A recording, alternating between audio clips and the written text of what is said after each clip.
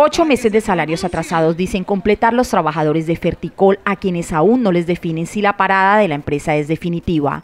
Desde el pasado 25 de febrero, al parecer, no hay operación. Tampoco hay gas y energía eléctrica en la factoría. A la fecha, la empresa no se ha pronunciado sobre si la producción sigue en pie o si, por el contrario, sus puertas cerraron de manera definitiva. Sus trabajadores permanecen en el limbo.